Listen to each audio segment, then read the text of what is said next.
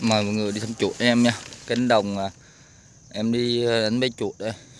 Đây ở khu chúng ta đánh ruộng. Này là em đánh theo những cái bờ ao nè bờ ta nuôi cá nè mọi người. Đó. Đây mọi người xem.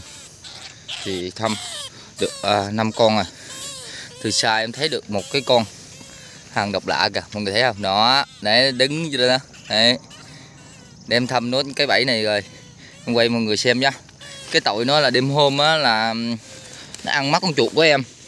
Mới vừa chập tối em đi thăm á là nó ăn mắt con chuột em mới bực mình để con chuột bên cạnh.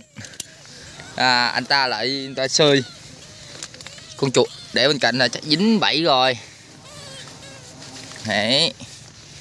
Mày chết mày chưa bưởi. Đấy hi, hi. trời ơi to là đừng nó nhổ cọc bay đi luôn thì thôi đó.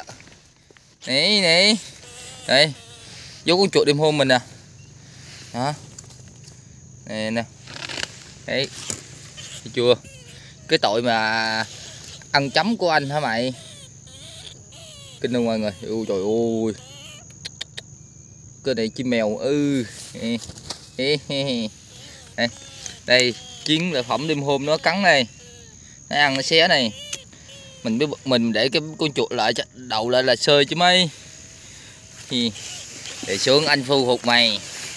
Lâu đúng đấy cái hàng này độc lạ là mọi người ạ. Không bao giờ dính nha. Thì hôm đánh cầu mai chơi thì bỏ tước mỗi cùng dính nó luôn. Chào em. Khỏe không? Về nhà đi chứ. Ở đây làm chi? Ở đủ à máu gớm nhờ. Ý, nhìn cái bạn hay ai nhờ. Này. Anh cho chú con chuột nè. Đấy đấy. Về đi chứ ở đây làm chi? Về sáng rồi. Này. Đã nhà không biết con này có nuôi được không mọi người? Người cho em ý kiến nha. Ồ, nhìn đã thật đó chứ đó. Cái này chỉ có là gọi là chim mèo ban đêm nó bay lượn lượn lượn nè. Nhìn khiếp vào con mắt ạ. À. ôi. Ừ đó. Kinh không nó hung ạ. À.